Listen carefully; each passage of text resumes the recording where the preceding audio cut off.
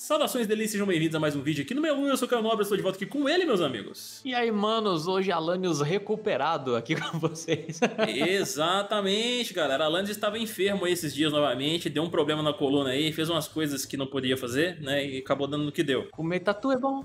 É, foi bem por aí mesmo. E é isso aí, galera, estamos aqui de volta com o nosso roubador de almas, que consumiu muitas vidas nesse processo para poder se sentir bem, e hoje nós vamos falar, cara, não apenas do Combat Cast que aconteceu aí nessa quarta-feira, do nosso querido Rambo. Muitas informações interessantes sobre o personagem que a gente tem que comentar aqui com vocês, mas também sobre uma intro da Milena que eles revelaram aí com o Aaron Black e também a sua data de revelação aí do seu trailer de gameplay, né? Que muitos de nós estamos interessados em saber. Mas antes de continuar, você já sabe o procedimento. Deixa aquele likezinho aí embaixo, cara. Não custa nada. Se inscreva aí no canal também, que não custa nada. E ativem o sininho para não perder notificação dos próximos vídeos, meus amigos. É uma regra do YouTube. Se vocês não ativarem, vocês não recebem os nossos vídeos. Acesse nosso site camila.net, a nossa plataforma roxa de lives e também os nossos grupos do Discord e do Telegram. Tá tudo aqui embaixo no comentário fixado para vocês. Então vamos lá, meu querido Alanios. Antes da gente passar para a parte do Combat Cast, que ela é um pouco mais comprida, né, pra gente poder comentar, vamos lá conferir essa intro aqui entre Milena e Aaron Black. Eu vou deixar tocar aqui para vocês verem, né, para nós vermos juntos e depois a gente comenta um pouquinho. Vamos lá, ó. Bora.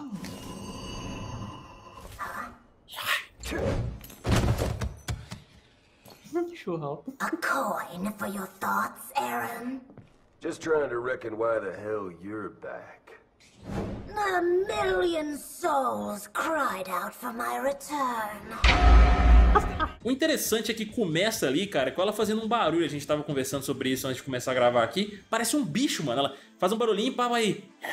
Eu falei, o que é isso, mano? É, cara, eu achei bizarro também. Ela, eles pretendem trazer ela é, numa uma pegada mais feroz do que de costume. Eu, eu, não sei, eu tenho uma sensação de que a Melina que a gente viu lá no Mortal Kombat 10 vai ser mansa perto dessa daí. Exatamente, cara. E é bem interessante a gente ver ali a zoada que ela dá naquele diálogo com o Aaron Black, né? Porque ela diz, né? Uma moeda pelos seus pensamentos, Aaron. Aí ele fala, tipo, cara, eu só queria saber o porquê que você voltou. Foi mais ou menos isso, entendeu? É. Aí ela falou, então, um milhão de almas clamaram, né? Ou então choraram pelo choraram. meu retorno. Ou seja, né, Alanis, eles aproveitaram para dar uma zoada na galera que pediu tanto pela Milena. Deram aquela cutucada de leve, aquela brincadeira sadia. Foi legal, foi uma brincadeirinha muito boa. Eu adorei. Inclusive, eles utilizarem isso como propaganda para falar: ó, semana que vem tem Melina. Muito, muito genial da parte deles, cara. Eu não teria feito diferente. Com certeza. Então, assim, nós temos data já, não específica, mas Milena Gameplay Trailer nós teremos aí aparecendo na semana que vem. A gente não sabe exatamente o dia, o Alan já estava até conversando sobre isso. A gente acredita que pode ser ali entre terça e quarta-feira, mas assim, eu acho que na quinta já passaria muito tempo. Eu acho que vai ser entre terça e quarta-feira mesmo, para depois na próxima semana ali dar um intervalo de uma semana mesmo e eles trazerem um Combat Cast dela. Eu acredito que vai ser por aí, mano. Como tem dois Combat Casts, parece que vai ser separado, né? Eu acredito que é, eles apresentem a Melina no começo da semana, possam fazer o Combat Cast no final da semana, para na semana seguinte já trazer o Combat Cast especial, porque senão eles só vão ter o dia praticamente do lançamento do, do jogo, né? Exatamente, cara. E vamos lá pro outro ponto que a gente tem que comentar aqui no vídeo, galera, que foi o nosso querido Combat Cast que rolou aí nessa quarta-feira, onde eles mostraram diversas coisas aí do nosso querido John Rambo. E olha, personagem tá deveras interessante. Eu vou deixar rolando o videozinho do Combat Cast aqui, enquanto eu e o Alanis vamos conversando a respeito. Uma das primeiras coisas que foram faladas ali, né, Alanis, com relação ao nosso querido Rambo, é que ele é um personagem muito bom em combate corpo a corpo. Eles começam primeiro falando que o Rambo é mestre em tudo. Faca, armadilha, arco e flecha, ele é mestre em tudo, mano, que vocês podem imaginar. Então isso reflete muito dentro do gameplay dele, entendeu? Como a gente pode até ver aí rolando no fundo. E é uma das coisas bastante interessantes que a gente vai ter no personagem, e ele parece bastante versátil também, né, Lanius? Sim, ele parece ser bastante versátil, parece ser bastante chato. Eles comentaram vários pontos a respeito do gameplay dele que foge um pouco do usual. Ele vai ser um personagem que controla bastante espaço, em vez de ser aquele zoner e tudo mais que todo mundo esperava, né? Ah, é mais um cara com arma. Não, não vai ser mais um cara com arma, vai ser, na verdade, um cara chato. Eles disseram que ele vai ser um zoner não tradicional, porque ao invés dele ficar com armas, né, igual o pessoal imaginava, atirando ali de longe, pá. Não, cara, ele vai utilizar de zone com as armadilhas dele. Então isso vai ser uma coisa bastante interessante, que daqui a pouco eles chegam no Combat Cast, inclusive. E ali a gente pode ver aqui mostrando de fundo, né, Alanios? Alguns dos golpes básicos do Rambo, fora das variações ainda, entendeu? Eles estão mostrando as habilidades especiais que ele tem, o agarrão aí que ele acabou de fazer, que a gente não tinha visto também. E tem uma condição de Crushing Blow bem interessante nesse agarrão aí que ela falou, a Stephanie lá, né? Que se você ficar sem apanhar por 10 segundos e sem pular também,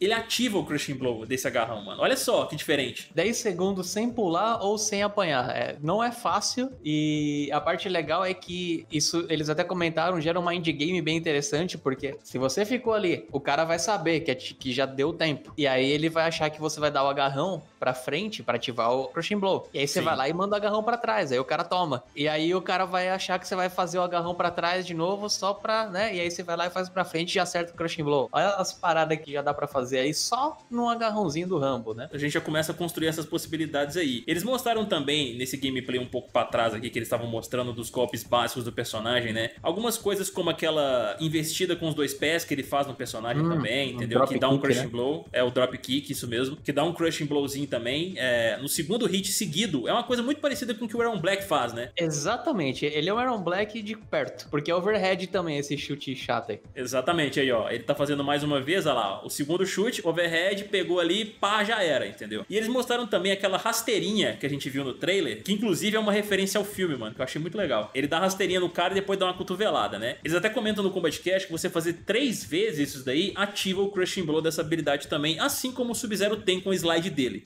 É, e aí você já gera um outro mind game que é o cara vai dar drop kick ou ele vai dar rasteiro. Então já começa aí a gente ver as possibilidades de, de gameplay do Rambo. Exatamente. E aqui a gente pode ver uma coisa interessante, Alanis. Olha ali, ó. Olha ali, ó. É guardando um arco, mano, ó.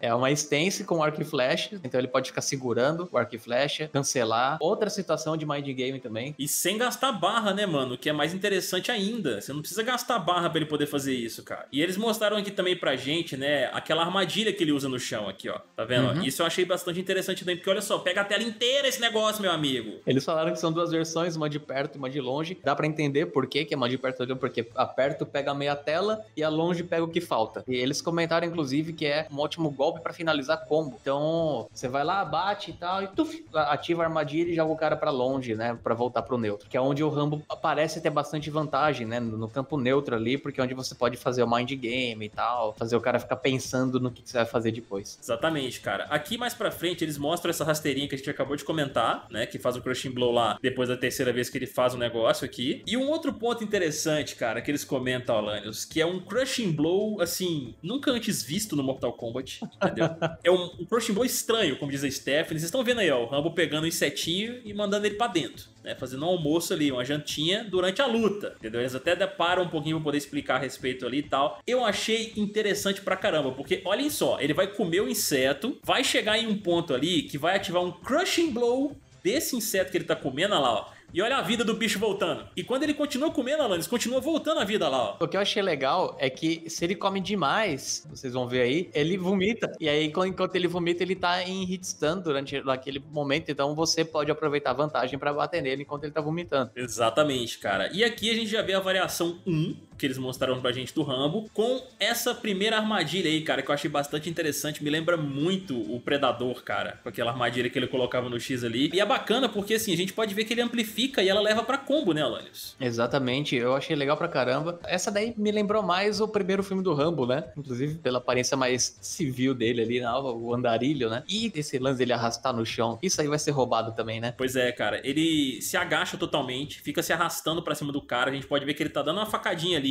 Ele pode agarrar o cara no processo também. E ele ainda tem um parry incluso, que eles acabaram de mostrar ali, meu amigo. E esse parry pega em, em qualquer altura. Se você for querer dar um médio, um overhead, alguma coisa assim, ele vai pegar. E a gente pode ver aí, né, Alanis, ele usando a metralhadora famosa, é M60, se eu não me engano, né, o nome dela, que ele atira no personagem de longe, é muito legal ele tirando ele do chão. E a Claymore também, cara, que eu achei um recurso interessante. E ele próprio sofre dano se encostar na Claymore. Nada mais justo, inclusive porque eles acabaram de mostrar versão amplificada, né? Que ela some, ele cobre, ele coloca ela no chão e cobre ela. Nada mais justo ele também tomar dano, porque é muito fácil, né? Eu esconder no chão e andar livremente, e o meu oponente tem que ficar lembrando lembrando de onde que ficou a Claymore, né? Exatamente, vai dar um mind game absurdo, mano, esse negócio aí. Mas você também vai ter que lembrar, então nenhum dos dois vai andar. Você vai pular em cima de mim, e aí o que, que a gente vai fazer? Tronco. Exatamente aí, ó. Tronquinho passando na tela pra você, meus amigos. Ó, ele corta a cordinha, vem tronquinho. Olha que maravilha, ó. Mais uma opção de zoning que o Rambo tem, diferente do que a gente tem dentro do jogo hoje.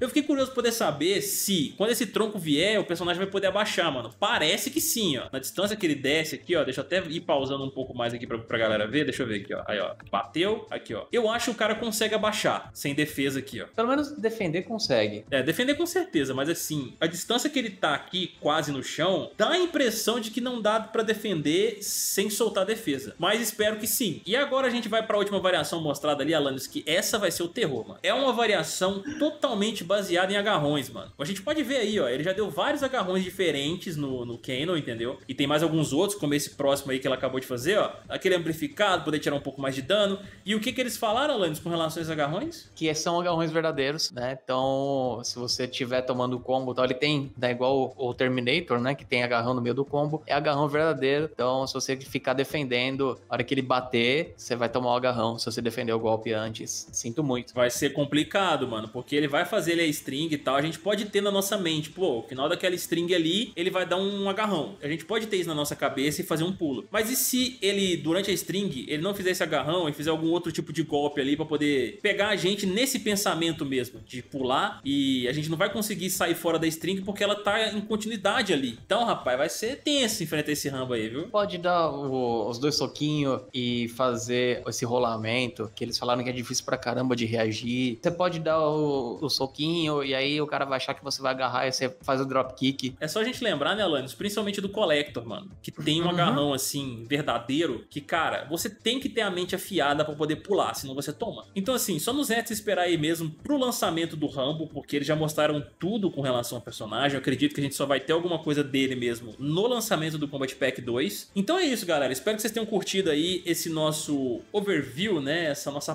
passada, assim, frame a frame nos principais pontos do Rambo, né? Os golpes que ele tem ali, as nossas impressões sobre isso e também essa intro da Milena aí com sua data de lançamento do trailer de revelação, né? Do gameplay dela, que vem na semana que vem, a gente acredita ali entre terça e quarta-feira. Comentem aqui embaixo o que vocês acharam do Rambo, dessa intro da Milena, dessa Milena assustadora, né, mano? Também, porque o ali no início foi, foi cabuloso, mano. Eu fiquei, fiquei com medo. A gente vai adorar ver a opinião de cada um de vocês aí. Não se esqueça novamente de deixar o seu likezinho aqui embaixo, se inscrever no canal e ativar o sininho para não perder a notificação dos próximos vídeos, meus amigos. Vamos ficando por aqui. Um beijo, ó. Gostou? Você dá uma olhada pro esquerda e direita de cada um de vocês. Até mais. Fomos!